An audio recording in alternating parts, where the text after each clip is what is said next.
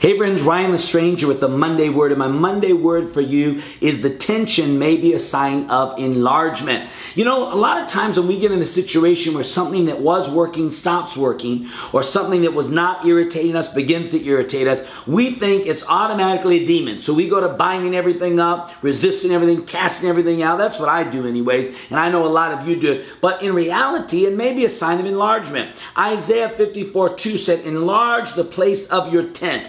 Stretch out the curtains of your dwelling, spare not, lengthen your cords, and strengthen your pace. I believe God is stretching you to prepare you to occupy new places in this upcoming season. And the pain, the tension, it may be a sign of enlargement. When you outgrow a season, you often become frustrated because you're no longer satisfied by what previously satisfied you. Sometimes we outgrow relationships. I'm, I'm not preaching that, you know, we just should forget everybody and I'm moving on, see you later I'm blocked. No, I'm not, I'm not saying that. Sometimes we do have to just move on from toxic people. But what I'm saying is sometimes there's a relationship that was very potent and powerful to bring us to a certain place, and then that person doesn't want to go with us. And there begins to be tension, and we get frustrated, and it can be very painful. But when you pause and realize God is originating the tension, Sometimes we come to a certain place of blessing and, and we were so happy and we were so fulfilled. And now we find ourselves saying, God, I know there's something greater. I'm frustrated. I'm,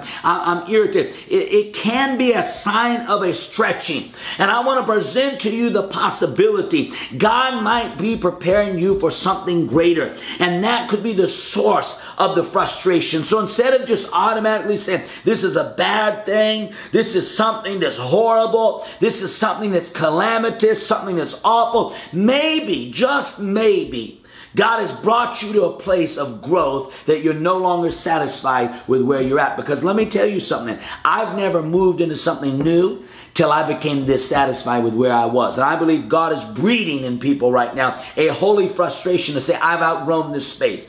I've outgrown this level. I was telling my wife the other day, I said, you know, I don't even think the way I used to think. Why? Because I've grown. The Bible says we go from glory to glory and faith to faith. I'm not going to stay the same. As I'm coming into a new year, I refuse to think the same, live the same, preach the same, pray the same, relate to people the same. I'm moving up. And the only people that are permitted to go me are those that are going to go up. Those that want to stay, they're going to have to stay. Situations that want to stay, they're going to have to stay. Doesn't mean I don't love you any less. But what it does mean is I've outgrown this place and I'm moving. If you want to stay with me, you got to move with me. And I give you permission today to say goodbye to some things. Say goodbye to some old seasons, some old thought patterns, some old processes, even some old relationships because sometimes when your mind is all messed up, you connected to people out of pain and not purpose. And God starts cutting that pain and you no longer feel connected because the only thing that bound you together was pain. And sometimes when you outgrow the pain, you outgrow the people who are associated with the pain.